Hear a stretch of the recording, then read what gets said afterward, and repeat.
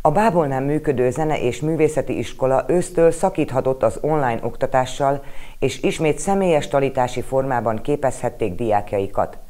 Januárban elérkeztek az első fél év végéhez, melyet hagyományosan a tanulók hangszeres vizsgáival zártak le.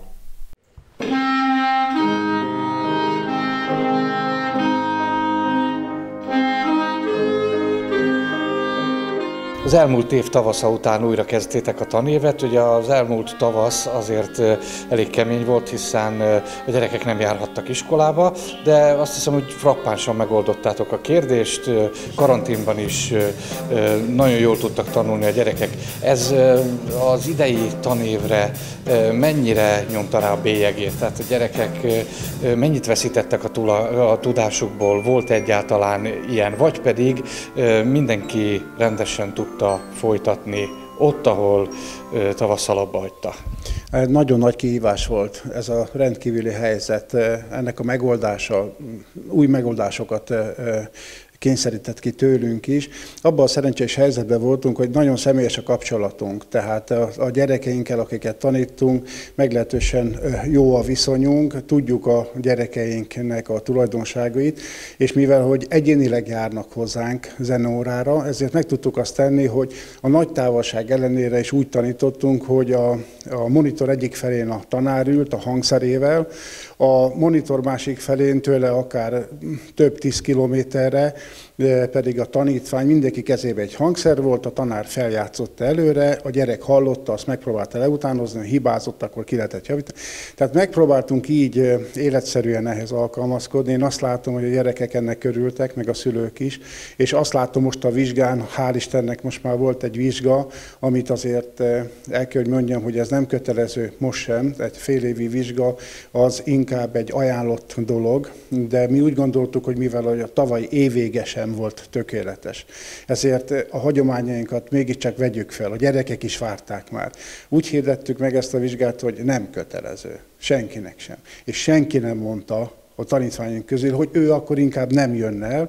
Mindenki nagyon szépen felkészült, és én azt gondolom, hogy, hogy talán azt lehet elmondani, hogy az itt tanuló gyerekek, annak ellenére, hogy egy ilyen nagyon nehéz időszakban vagyunk valamennyien, ami lelkileg is nehéz, mégis, mégis jól tudtak teljesíteni. Ez nagy öröm számunkra, a tanáraink is örülnek, az, az, láttam, hogy a gyerekek is nagyon örültek, úgyhogy én a teljes szívemben gratulálok a gyerekeinknek. A gyerekeket azért valamelyest felszabadítja a zenélés, tehát egy kis, kis, kis plusz szabadságot ad számukra, annak ellenére, hogy ugye az általános iskolások azért járnak iskolába, de gondolom, hogy mindenkiben van egyfajta félsz, talán a gyerekekben is. Hát eh, nagyon érdekes, mert ugye ilyenkor fél évkor is és évvégén is egy kis vizsgalapot készítenek a gyerekek. A vizsgalapra felírhatnak mindent, amit a zenével kapcsolatosan gondolnak, illetve azt az anyagot, amit előadnak a tanáraiknak. Na most eh, az egyik érdekes ilyen idézet az volt, hogy a zene az egyik olyan vírus, amelyik nem támad, hanem gyógyít. Szóval ez egy nagyon érdekes dolog volt, és hát talán ide kapcsolódik a kérdéshez. Hát én azt gondolom, hogy azért kell a lelkünknek egyfajta olyan támasz, amit a zene nyújthat, ami ezekben a nehéz órákban is jó.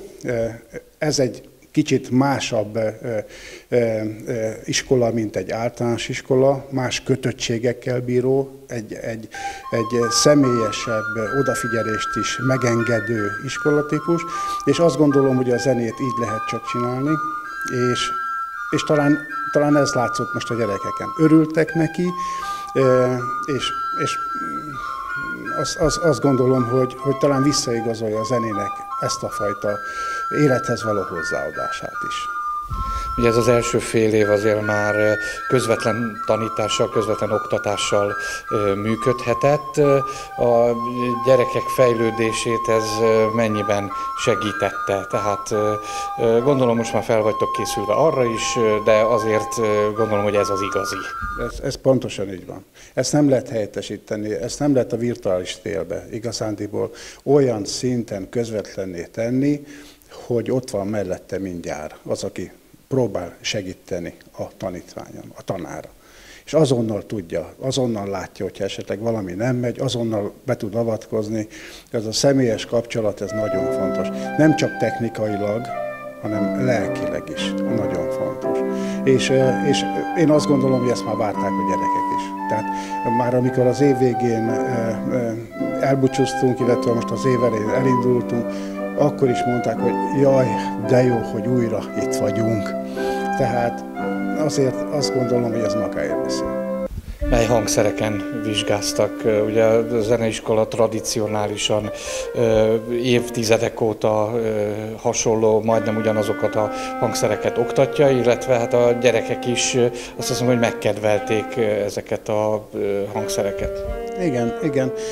Egyre bővül ez a paletta, színesedik, hiszen a klasszikus hangszereink mellett azért most már megjelent a szaxofon, megjelent a klarinét, megjelent a fuvola, megjelent a harangjáték, ettől az évtől kezdve, és, és ezek, ezek, ezek mind nagyon-nagyon szép hangszerek, és nagyon szépen is játszanak rajta a gyerekek.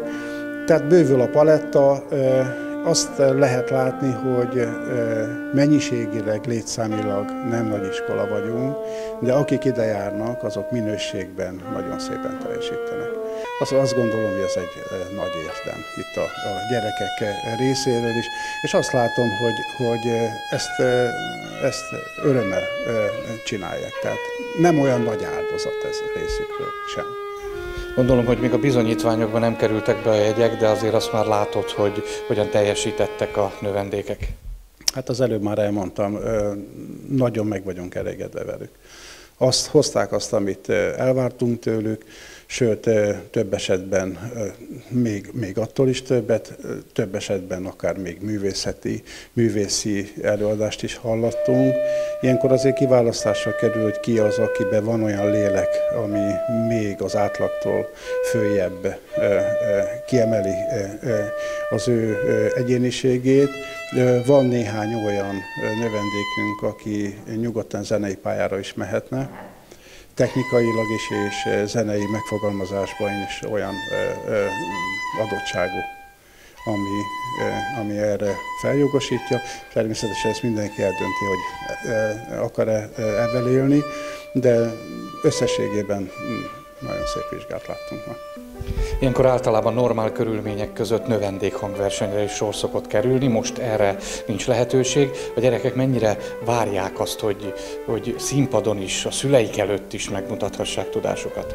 Hát eh, épp most volt egy beszélgetésem az egyik anyukával, és mondta, hogy ők már annyira várják, hogy végre újra láthassák a gyerekeiket a színpadon, mert hát otthon látják, eh, meg, meg nagyon örülnek, hogy megy a zenéskola, de milyen jó volna, hogyha újra színpadon eh, lehetne látni őket. Azt hiszem ez mindnyájunknak hiányzik, hiszen azért a kultúra az életünknek a része.